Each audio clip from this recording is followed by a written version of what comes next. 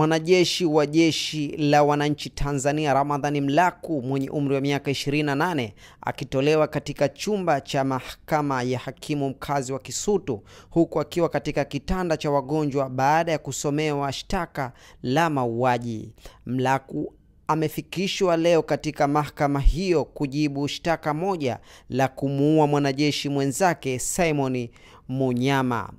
Mlaku anadaiwa kutenda kosa hilo Oktoba 30 mwaka 2017 makao makuu ya JWTZ lililopo Upanga, wilaya ya Ilala.